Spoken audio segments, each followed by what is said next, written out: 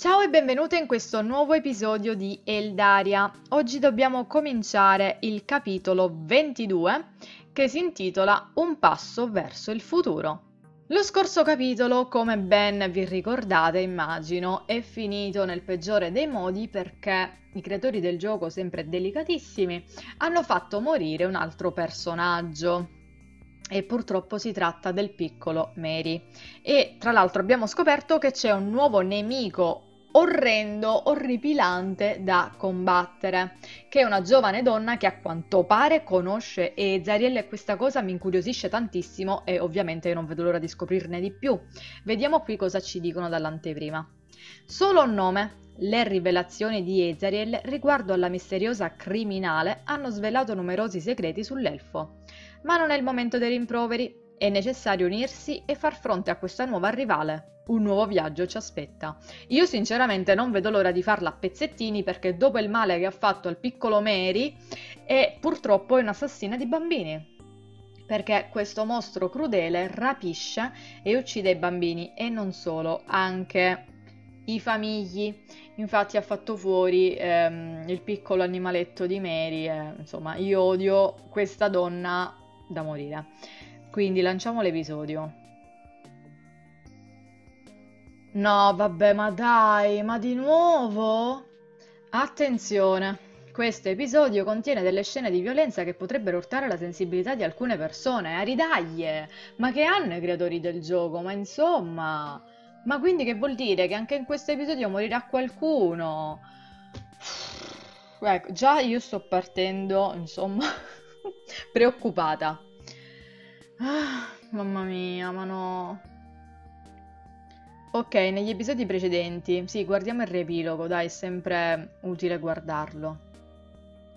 Dopo la purificazione del cristallo pensavi di poter ritornare alla routine del QG, eh sì, ma sfortunatamente non è così. Dopo innumerevoli ricerche e la morte di una persona importante, sei finalmente riuscita a trovare il colpevole dei rapimenti, una ragazza dal fisico mostruoso, degno della creatura del dottor Frankenstein. L'incontro con quest'essere ha avuto delle terribili conseguenze, la morte di Mary. Sconvolto dagli avvenimenti, Ezariel si ammutolisce. Per fortuna lo hai aiutato a superare questo momento difficile. Adesso ha una confessione terribile da farvi. Siamo tutte orecchie. Ok, lanciamo l'episodio. Preparatevi ragazze perché dall'intro mi sa che anche questo ci riserverà, non lo so, delle scene terribili. Io conosco questa ragazza. Cosa? Miko ha cambiato improvvisamente espressione e il suo scettro si è infiammato. Deve essere su tutte le furie. Mi stai prendendo in giro? No, io. Ezariel stava per scappare, ma Miko l'ha trattenuto violentemente per un braccio. Resta qui e dammi subito delle spiegazioni. Nessun altro dice nulla. Non capisco che cosa stia succedendo. Rispondimi, non voglio parlarne, lasciami! Ezerele si è liberato dalla presa di Miko, che gli corre dietro. Non posso restare senza fare nulla. Allora, difendo o non intervengo? Allora, mm, io proverei a fare la prima e magari ci provo io a farlo parlare. Difendere Ezerele e dire a Miko di lasciarlo stare. Smetti, l'amico! Mi sono interposta tra Miko ed Ezariel. Miku è andata su tutte le furie, certo è normale. A che gioco stai giocando? Voglio delle risposte. Pensi davvero che trattandolo in questo modo otterrai qualcosa da lui? Nel silenzio totale affrontai Miko con lo sguardo. Dopo un po' si girò di spalle. Abbiamo vinto. Tremando appoggiò la testa sulla mia spalla e le sue braccia mi cinsero la vita. Perché mi difendi? Perché non sopporto quando tutti se la prendono con una sola persona. Ehm, io sinceramente penso questa. E perché non è in questo modo che otterremo delle risposte? Ezariel si è allontanato da me. Mi sono girata verso di lui, la sua espressione indecifrabile. Prima che Ezariel potesse riuscire a spiegare, ho sentito una fitta allo stomaco. Oddio. È colpa sua. Tutta questa storia è colpa sua. Ho guardato gli altri che sembrano stupiti quanto me. Parli della ragazza nella foresta? Sì, tutto è cominciato 15 anni fa. Si è seduto su un gradino, vicino al cristallo, e poi ha messo il viso tra le mani. Ci siamo avvicinati a lui.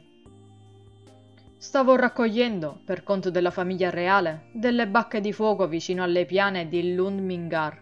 È lì che l'ho vista. Spaventata a morte, un'umana di nome Merien. Un'umana? Umana, come noi. Merien. Che cosa? Un'umana? Sì, come è successo con Casey, ho capito subito dal suo odore che veniva dalla terra. Avendo paura di quello che il mio popolo le avrebbe potuto fare, ho deciso di nasconderla. Ma un attimo, ma è per questo che Ezerel allora all'inizio della storia a noi ci odiava a morte? Mm. Ho fatto un gesto di sorpresa ed Ezerel se ne è accorto. Casey, sei stata davvero fortunata ad arrivare qui. Se fossi capitata tra la mia gente, saresti stata esposta come una belva o studiata da qualche sorta di scienziato pazzo. Ah, bene. Non so cosa dire. Non avevo mai pensato che gli umani potessero essere trattati in questo modo su Eldaria. Eppure, quando ci ripenso, mi sembra una cosa logica. Sono sicura che gli scienziati del mio mondo farebbero la stessa cosa con un Fairy. Sì, è vero. Infatti, tipo, da noi ci sono sempre quelle storie che si sentono, ad esempio sugli alieni, no? Che se un alieno viene nel nostro mondo, gli scienziati di qua iniziano ad analizzarlo, studiarlo, sì, è tipo la stessa cosa. Ogni giorno che passa scopro delle cose orribili che mi provano che il Daria non è poi il luogo magnifico che immaginavo all'inizio. Ezariel ha continuato a parlare. Dopo un po' mi sono reso conto che quella ragazza stava diventando strana Forse per colpa dell'aria di Eldaria. Ho capito allora che dovevo trovare un modo di rimandarla sulla terra. Gli uomini da cui mi hai salvato, Miko, erano i miei ex soci. Sono loro che mi hanno aiutato ad aprire il portale. Allora immagino che se Marianne sia ancora qui è perché non sei riuscito a rispedirla a casa. No, l'ho vista attraversare il portale, ma forse mi ha ingannato. Mi dispiace tantissimo, avrei dovuto riconoscerla prima. Sì, ma non è più umana, che le è successo? E come avresti potuto? Non ha la sua normale sembianza. Non lo so, forse dal suo odore o dal suo atteggiamento. Nevra ha ragione, amico mio. Non è colpa tua. La vera colpevole è questa. Ezer le si è girato di spalla. Ez, hai fatto tutto il possibile.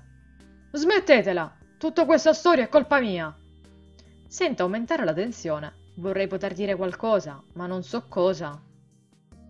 Cerchiamo di stare calmi. Dobbiamo restare uniti.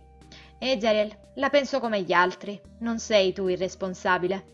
E in nessun modo avresti potuto prevedere questa catastrofe. Le informazioni che ci hai dato sono molto preziose.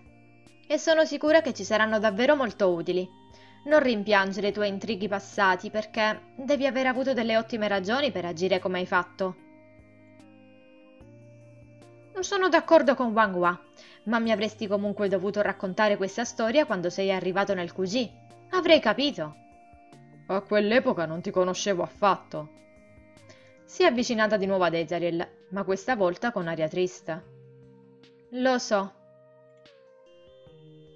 Miko ed Ezariel si spiegarono e imparai moltissimo su di lui.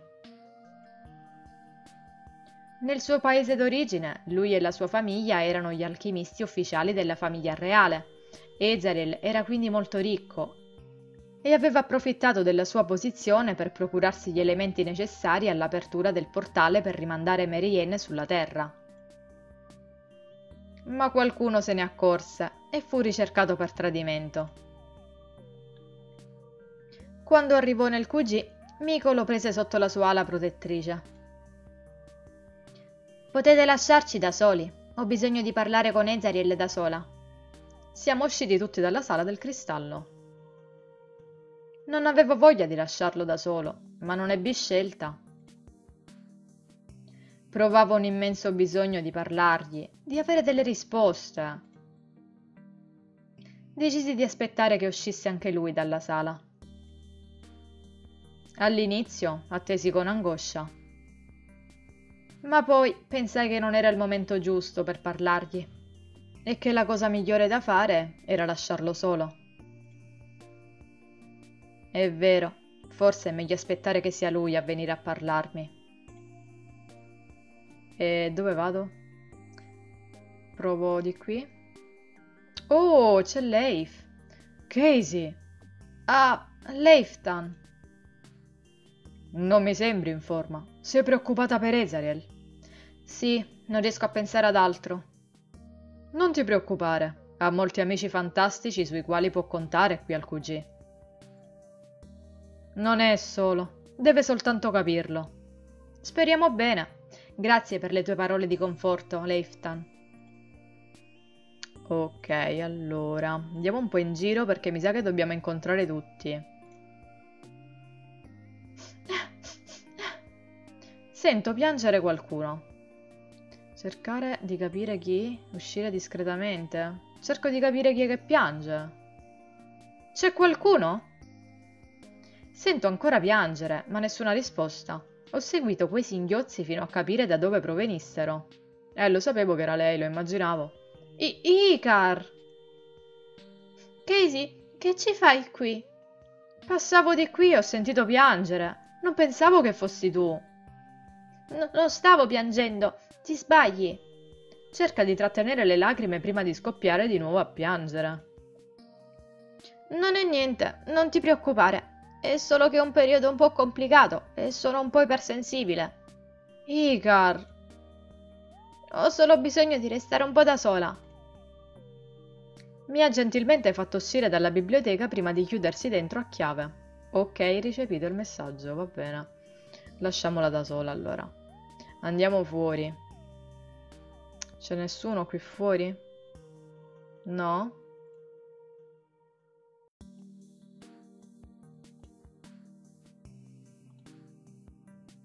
Oh! Ah... Wanghua? A cosa stai pensando? A quello a cui stai pensando anche tu, immagino. Questa situazione, la morte di questi bambini, il passato burrascoso di Ezariel. Ti capisco. Non sono riuscita a trattenere un sospiro. Dai, Casey, cerca di restare positiva. Risolveremo tutto, te lo prometto. Se vuoi scusarmi, devo andare a parlare con la madre di Mary. Oddio. Non ti preoccupare, a dopo. Mary... No, vabbè, io ancora non ci credo che non lo rivedremo più nel gioco. Cioè, mi sembra assurda come cosa. Non so dove andare. La porta è chiusa a chiave, nessuno risponde. Penso che Evelyn abbia bisogno di restare tranquilla e non voglia essere disturbata. E ricordiamoci che Evelyn è innamorata di Ezariel. Um, qui non c'è nessuno. Ma dove sono? Devo trovare altri, ma non so dove stanno. Qui per esempio non sono scesa. Quindi scendiamo. Oh, ma c'è lui! Ecco Nevra, mi sembra preoccupato. Stai bene? No. Mi dispiace. Mi sembra di averti fatto una domanda stupida. Non ti preoccupare, è solo che... Tre bambini sono morti, un quarto è traumatizzato, probabilmente a vita. Eze si sente in colpa per tutta questa storia. Come pensi che possa star bene? Ezeril non riesce davvero a farsene una ragione. Credo che a questo punto tu sappia com'è fatto, no? Possiamo dire di sì. Spero soprattutto che non si chiuda in se stesso come ha l'abitudine di fare. Lo spero anch'io per lui. Vado a parlare con Karen. Non so se ha già saputo di Mary. Che brutta situazione. Ma ho parlato con tutti o c'è ancora qualcuno? No, mi sa che mi manca qualcuno. Chi? Ah, non riesco a capire chi è che mi manca. Perché non, non incontro più nessuno. Quindi sto consumando tantissimi mana perché non so che devo fare. Ci sono così tante cose che mi frullano per la testa che non so più cosa fare o pensare. Non riesco a smettere di pensare ad Ezariel e a quello che può provare in questo momento. Dopo aver parlato un po' con gli altri e fatto il giro del QG, decisi di andare a fare una doccia. Forse in questo modo riuscirò a schiarirmi le idee. Eh, dove sta la doccia?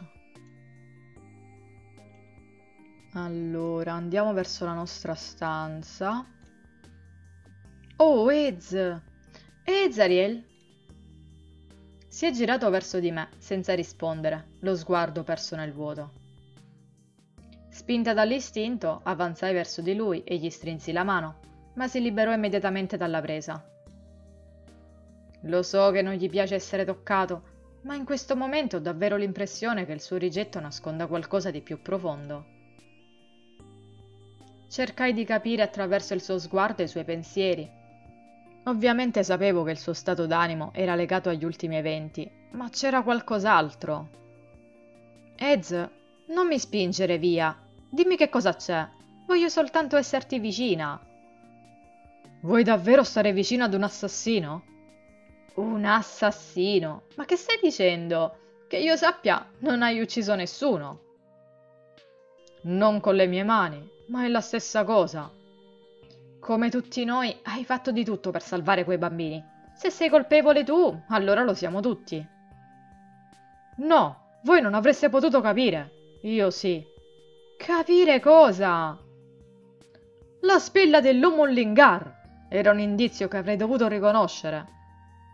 Avrebbe potuto metterti sotto gli occhi qualsiasi cosa, non saresti riuscito ad indovinare. Come ci hai detto, questa storia risale a molti anni fa ed eri persuaso che lei fosse tornata sulla Terra. Eppure era proprio lei, non qualcun'altra, lei, la mia responsabilità, il mio fardello. E allora? Ho gridato senza nemmeno rendermene conto. Di che cosa sei responsabile? In che modo pensi di aver ucciso Mary e gli altri bambini? È stata lei, e non tu. Non sei responsabile degli errori commessi dalla tua ex. La mia ex? Sei impazzita? Mary Ann aveva soltanto dieci anni quando l'ho conosciuta. Dieci anni? Ma era una bambina, quindi. Scusate, ma se era una bambina perché uccide gli altri bambini? Cioè, che le è successo a questa? Il tuo comportamento mi lascia senza parole. Che, che cosa? Ho l'impressione che stia cercando di farmi passare per la cattiva della situazione. E Zerele cercò di scappar via come aveva fatto nella sala del cristallo, ma cercai di trattenerlo. Mi guardò così intensamente che provai un profondo senso d'angoscia. Per una volta, fatti gli affari tuoi. Come, scusa? Non ti sopporto più, e non sopporto più nemmeno il tuo falso altruismo. Lasciami stare. O Ezariel ti sei rincredinito all'improvviso? Non pensi davvero quello che dici, Ezariel? Sì, sono cosciente di quello che dico e do un peso ad ogni parola. Allora adesso, gentilmente, spostati e lasciami passare. Cercò di spingermi via per lasciarlo passare, ma non mi spostai. Sei serio? Pensi di potermi dire una cosa simile ed andartene via in questo modo? Non mi ascolta e continua ad allontanarsi. Ezariel, non è in questo modo che risolverai i tuoi problemi. Urlo, invano. Smisi di gridare e provai un forte senso di collera. Le mie mani tremavano dalla rabbia e dalla frustrazione. Forse è meglio andarsi a calmare. E dove mi vado a calmare? In camera? Ma il comportamento di Ezariel è stranissimo. Ezariel. Ero in camera mia senza sapere cosa fare. Come aveva potuto dirmi delle cose simili? Eravamo amici. Non riuscivo davvero a capire il suo comportamento. Collera e tristezza si mescolavano tra i miei pensieri. Stavo per uscire per andare a parlare con Ezariel quando qualcuno entrò in camera e sarà il nostro fidanzato. Pensai che fosse lui, ma... Sentì qualcuno avvicinarsi ed abbracciarmi con delicatezza, ovviamente Valk. Riconobbi subito quell'abbraccio e fui invasa da un senso di sicurezza. Valchion! Mi sono girato e l'ho abbracciato ancora più forte.